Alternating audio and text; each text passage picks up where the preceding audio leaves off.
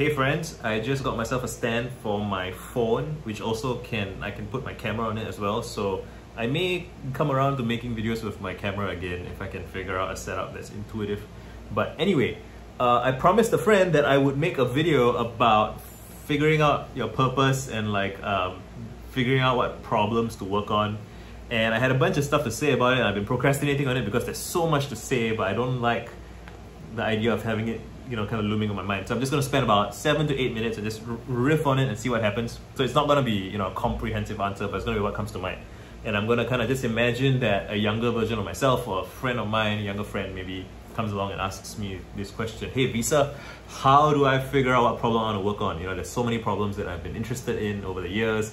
Uh, I'm, I'm moderately decent at a bunch of stuff, but I don't know what to do. All right. So there's a bunch of different angles on this, which is part of why it's a hard question to answer because you need to know yourself as well as possible and you need to also, you don't need to, but it helps to have a sense of where opportunity is because, and so this is where I talk a bunch about being strategic, is one of my, I don't know how many videos I've made about being strategic, but the idea of being strategic is basically just to think, you know, I don't mean to be condescending to people who are struggling with this because it is hard, it is hard to figure this stuff out, but I'll just lay out how I think about it. Um, so the first variable to make sense of is yourself. You know, it's what what what your feelings are, what your your motivations are, and you don't need to know this in great detail. You just need to have a sense, right? Like what are you good at? What are you bad at? Have a articulate your historical sense. So I recommend talking to your parents if you can, or your siblings, whoever you're close to, childhood friends. Talk also to you know your colleagues, people that you just ask as many different people as you can what do they you know how would they describe you to someone else? You know how would they introduce you to someone else? What would they say if they didn't know what you did for a living what would they assume you would do for a living? You know you want you want to kind of get a sense of how people make sense of you. And people will say some people might say oh you know you're very meticulous very methodical. Some people might say oh you're very good with people you're very good with whatever. And oh before you ask anybody about these things write down what write down what you yourself think the answer is you know? So because how people perceive you and how you perceive yourself and how you are all of these are slightly different things. And it could be that the way you perceive yourself and the way other people perceive you perceive you is different. And that is you know it's not clear what exactly you should do about that but it's something to think about. It might be that you misunderstand yourself or it might be that you the way you present yourself comes off a certain way in the context that you're in, depending on you know your culture, society, blah blah blah. But um, the clearer a sense you have of what you do and what you're like and what your priorities and interests are, the better position you will be to make decisions. And the other thing to do is look back on your life. So if you're really young, if you're like 20, you know, if you're a teenager, it can be hard to see. But even there, you can look for clues backwards. Um, but you know, the, the older you get, the easier it is to look through your past for more clues. And what I'm talking about here is how do you, not how, um, how did you spend your time? You know, what do you do when you are not working? What do you do when you have a day off to do whatever you like? What do you do in that time? I've noticed that I go spelunking on it through like Wikipedia trails and uh, looking up the etymology of words, like the history of words, where where do what words come from what. I read, I consume a lot of media. I'm like a media theorist, media analyst. I just love, you know, getting to understand culture by analyzing media. I like talking to people. Um, I hate, you know, I hate schedules. I hate calendars. I hate accounting. I hate anything to do with that kind of nitty gritty shit. I can't do that at all. And so I know that I should steer away from roles and industries and whatever where those are the things that I'm going to have to do right? Even though some amount of it is kind of inescapable in any context, but you want to know what your specialties are going to be. Uh, there's a quote from I think Peter Drucker who says there's only three things in in business or in in making stuff. It's like okay, you make the stuff, you sell the stuff, and then you keep the lights on, right? In a in a company, right? So you have you have uh, engineering or innovation, the people who build the product, and then you have marketing and sales, the people who sell the product, and then everybody else keeps the lights on. You know, they they and, and this is important work, you know, legal, HR, um, payroll, you know, just making sure that everything's intact so that the other two groups of people don't drive themselves crazy. And so, okay, making stuff, selling stuff, keeping stuff functioning. Like between these three things, what do you feel is the best thing for you? Like, so again, for me, like, I can't balance books, you know, I can't, I dislike it, despise it, it makes me uncomfortable, so I'm never gonna, uh, you know, run my own HR company, or I'm never gonna do like a accounting software or something. I'm never gonna do any of that. And so my choices are, I'm gonna either make stuff or sell stuff. And I have, I, I do have a respect and admiration for people who make things, but when I witness people who really love it, right? People who are really into innovating and really into technical details and making like dozens of dozens of versions of, of a product. Uh, I look at that, I'm like, ah, I don't have that kind of intense passion. Whereas for me, I love words, I love ideas. You know, I've made so many YouTube videos even without an audience. I've made so many tweets, I've made done so much writing. I, I can play with that stuff for free, for fun. You know, I, would I, would pay to do it sometimes if like, you know, if uh, I have a limited amount of time in the weekends and stuff back when I was working, I would set aside time for that to, and I, not even explicitly, but I would just do it because it nourished my soul in some way.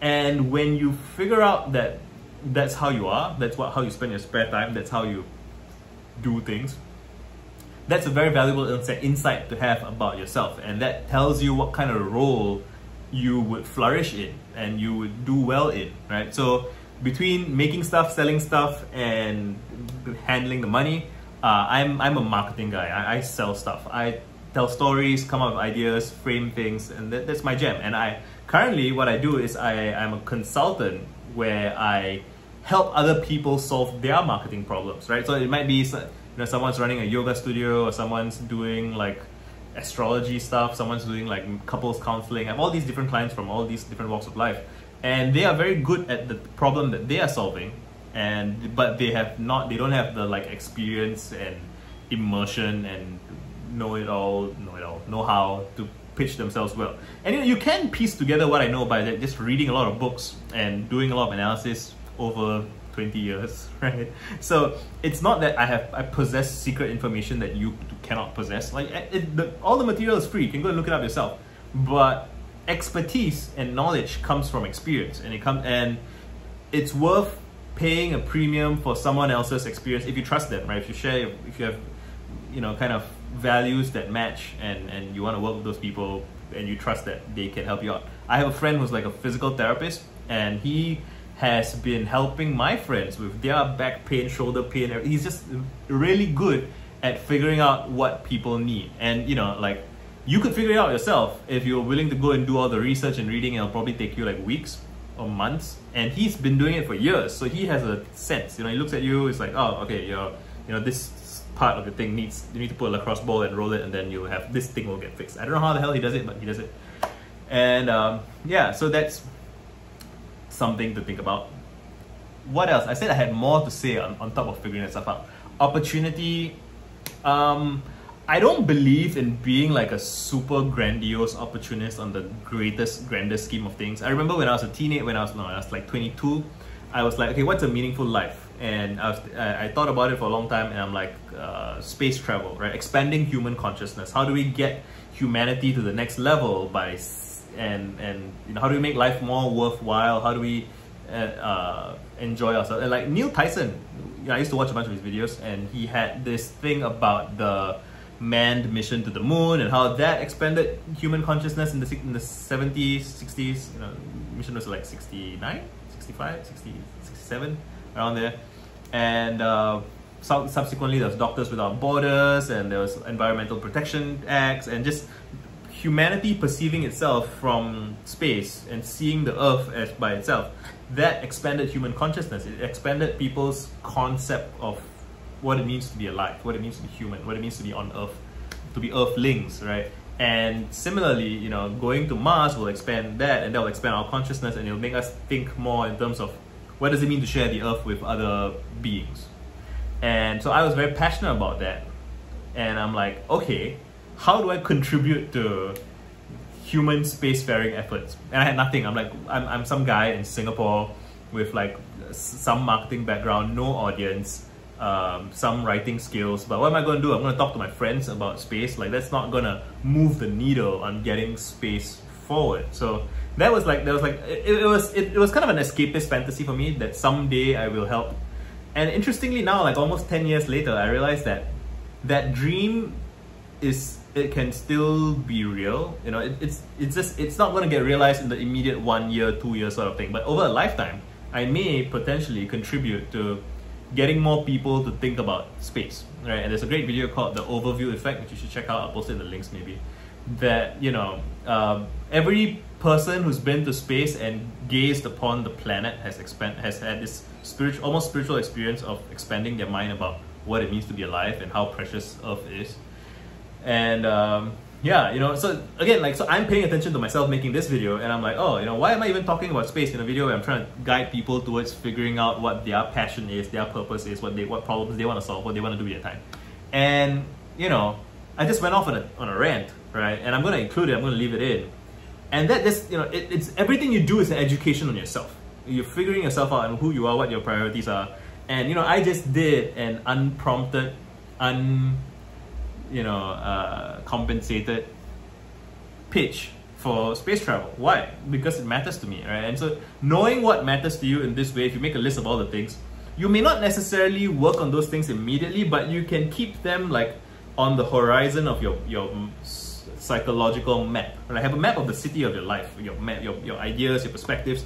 You know, you live in the now, but there's territory further out downtown, you know, across the street, whatever which is where you want to go, right? Potentially, or just just want to enjoy your life. So you want to enjoy being an inhabitant of your city, of your life, and to do that, uh, you have to explore, right? You want to, and you want to know things. So if you know that there are landmarks in the distance that you might not be able to get to tomorrow or next year even, but you can navigate by them and you just have them in the distance as as navigational aids, right? That you can kind of you know, rely on for reassurance. Like, oh yeah, those are my values. This is what I care about. And I might not be working on those things right now, but just by keeping them in your attention, keeping them in your mind, they have a way of influencing your behavior, right? So I don't know if I've not I've not answered the question. How do you figure out what you want to work on? Um, I haven't spoken enough about opportunity. Maybe I'll make a separate video about opportunity. I think I'll make a separate video about opportunity. But broadly, okay, figuring out your purpose, uh, I don't think purpose is something that is, you know, fixed. Or it's something that is like a secret password in a box locked up somewhere that you go, go and open up and discover and like, oh, this is my purpose. No.